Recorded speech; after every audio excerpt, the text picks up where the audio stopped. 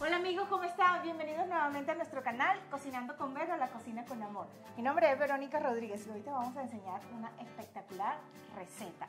Hoy estamos nuevamente con mi amiga, la chef pastelera. Andrea Villanueva, su chef de la serie de los postres. Así es. Seguimos con esta serie espectacular donde les estamos enseñando grandes secretos, así que aprovechen. ¿Qué nos tienes para hoy? Vamos a preparar lo que muchos siempre quieren tener en casa, el postre de tres leches. Preparen lápiz y papel, porque esta receta es súper fácil, súper económica y espectacular. Vamos. Vamos a partir con lo que es primero la esponja, que es la base de nuestro pastel, de nuestra torta, de nuestro postre. en un bolo limpio, para poder conectar nuestra máquina, en un bolo limpio vamos a tener eh, seis yemas, seis claras, en total seis huevos eh, enteros separados. Separados. Y vamos a batir nuestras claras primero a nieve con una pizquita de sal. Aquí yo ya tengo las claras separadas. Ya están a temperatura ambiente. Generalmente cuando uno va a hacer siempre pasteles tratemos de tener todos los ingredientes, a no ser que la receta lo diga, temperatura ambiente. Vamos a poner aquí una pizquita de sal, que también ya la teníamos lista. Regular. regular. de mesa, ¿ok? Sal fina, sal regular. Si tienes la kosher también es un poquito menos, solamente para ayudarnos a airear un poquito, a incorporar más aire a nuestra mm, receta con el merengue. Ok. Vamos a batir las claras, vamos a agregar azúcar granulada. ¿Ok? es regular. Regular, granulada. Normal. Y vamos a ir a punto medio, vamos a incorporar nuestro azúcar en tres tiempos. Para que nuestro merengue quede bien firme, vamos a agregar nuestras yemas, una a una, vainilla, agregamos nuestra harina con polvos de hornear y de ahí nos vamos a preparar nuestra bandeja. Y esta es harina todo uso. Todo uso. Está súper Tres fácil. ceros, harina de todo uso, harina selecta de trigo, eh, blanca, harina blanca de trigo, ¿ok?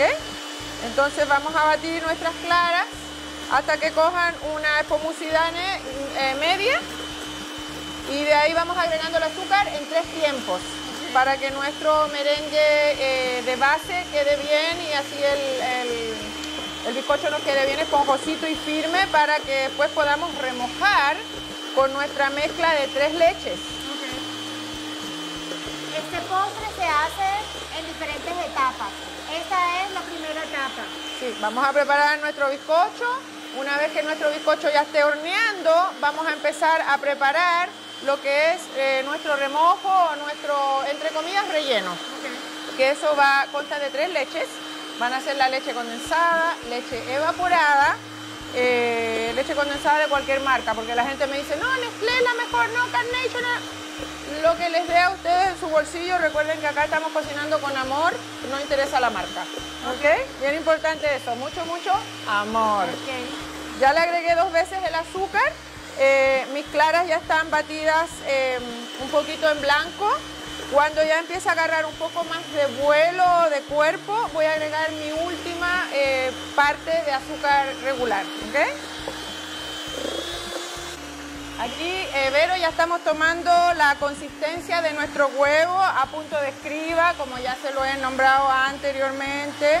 Eh, vamos a bajar la velocidad a nuestra máquina de batir y nos vamos a ir agregando nuestras yemas uno a uno hasta que se incorporen. Este merengue es súper rápido, es un merengue especial para lo que es tortas de bizcochuelo. Si quieren hacer una torta de cumpleaños con esta misma base también les sirve. Es muy fácil, muy sencillo de usarlo, ¿ok? ¿Cuál es la diferencia entre este merengue y el merengue que hicimos anteriormente, el merengue francés? El merengón que hicimos en la clase anterior, ese merengue nosotros queríamos que nos quedara el azúcar de una vez absorbida para endurecer un poquito nuestro merengue y que nos quedara con costra. Ahora lo que queremos es que el azúcar queme un poquito la clara en tres tiempos, cosa que nos ayude a mantener las burbujas de aire. Ok. Amigos, si no has visto nuestra receta del merengue o paloma, te invito que vayas al link que te vamos a dejar aquí arribita para que disfrutes de ese merengón. Correcto. Estamos aquí agregando ya la vainilla, siempre a paso lento. Ahora lo que yo voy a hacer es, mi harina yo ya la tengo cernida, le voy a agregar lo que son los polvos de hornear. Que es una cucharadita, cucharadita chiquita. Ahí ayúdame con eso. Y ya cuando esto está a punto de escriba, lo vamos a ir incorporando con lo que es la espátula en forma envolvente, como también ya se los he enseñado, que son pequeños detalles que uno tiene que ir aplicando en el día a día en lo que es la pastelería de la casa o pastelería profesional. Aquí ya alcanzamos lo que es un punto de escriba, que yo estoy dando vuelta a mi máquina y está quedando el rastro de lo que son eh, la batida, ¿verdad? Entonces solamente lo vamos a apagar porque ya como incorporamos nuestro azúcar en tres tiempos, el azúcar ya se disolvió hace rato. Solamente estábamos agregando un poquito más de aire a lo que es la mezcla. Entonces aquí estamos con eso. Vamos a incorporar nuestra harina en, forma como esparciéndola alrededor. Como solamente es como una taza, una taza y media de harina, dependiendo de lo que vayan a hacer de la receta que les presentamos eh, ahí abajo en la cajita donde están todas las instrucciones para desarrollar eh, la receta, la esponja.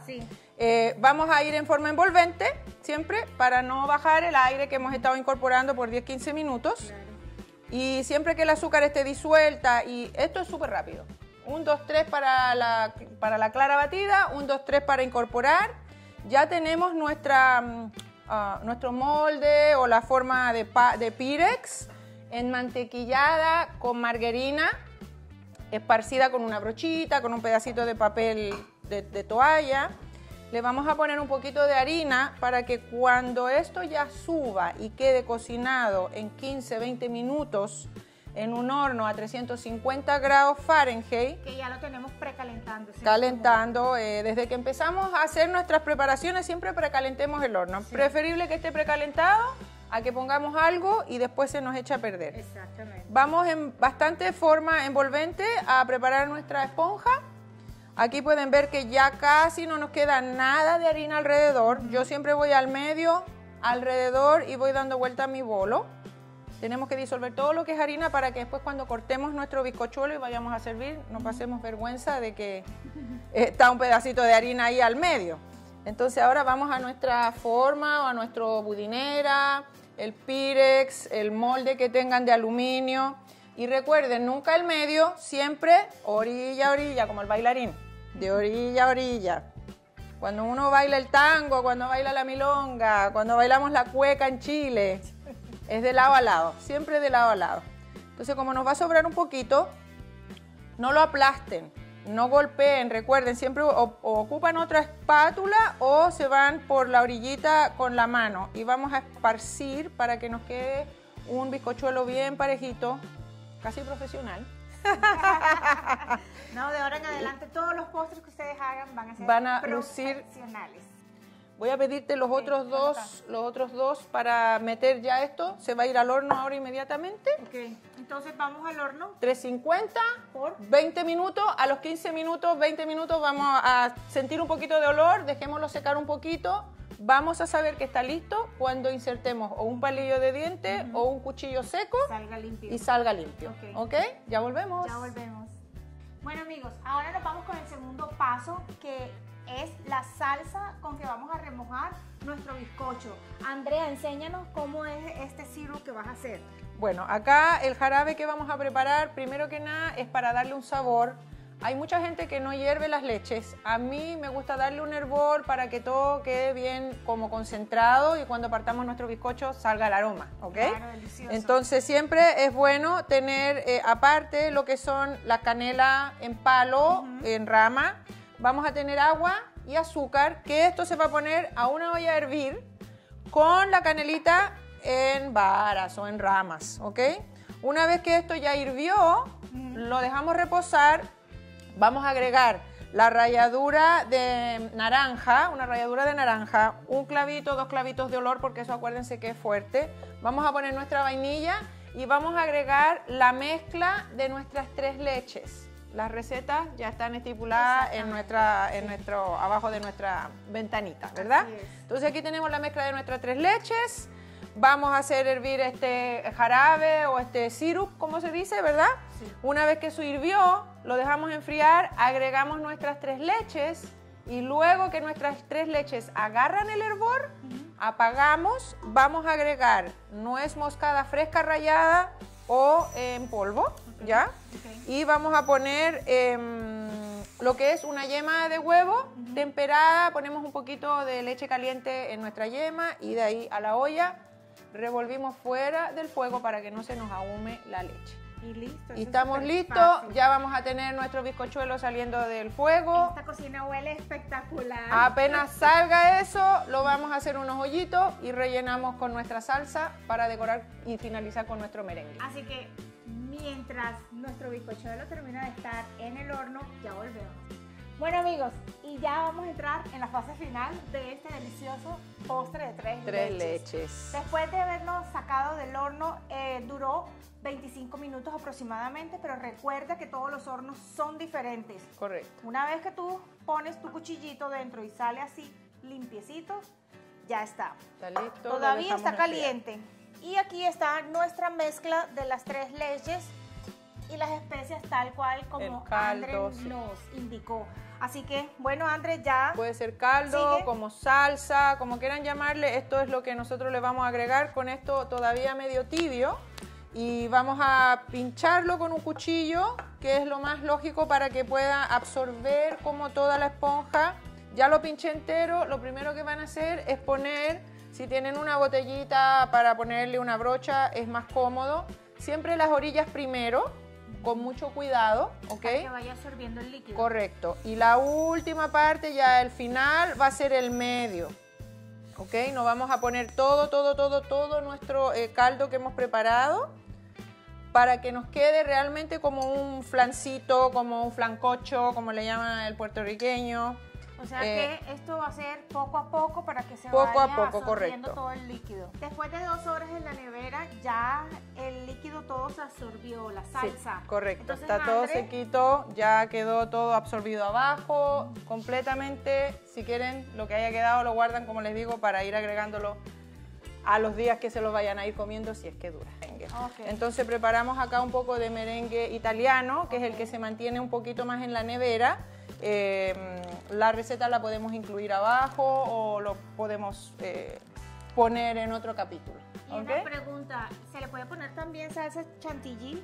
Sí, le puedes poner chantilly. eh, y lo ideal es así, si no tienen las, las boquillas, eh, podemos hacerlo con cuchara y solo botarlo a- a- arriba con la cuchara y lo que se hace es con un tenedor Ah, le se levantan los piquitos o se le hacen rayitas. Ok, ¿ok? súper. Entonces la gente que no tenga en su horno como para ponerlo a gratinar dos minutos para que el merenguito quede como eh, tostadito, eh, lo que yo siempre hago es para evitar eso, que se me seque mucho el merengue, le polvoreo un poquito de canela en polvo. Oh, qué rico. y ya eso te va a ayudar a incentivar o a afirmar un poquito más los sabores que ya le agregamos a toda nuestra mezcla de, de las especias en el, en el caldo o en la salsa que hicimos. Ok, ¿ok? entonces, Entonces vamos ahora vamos a agregar acá. y ya Después volvemos. plateamos para poder eh, disfrutar lo que es un pedacito de Qué tres rico. leches para tu marido.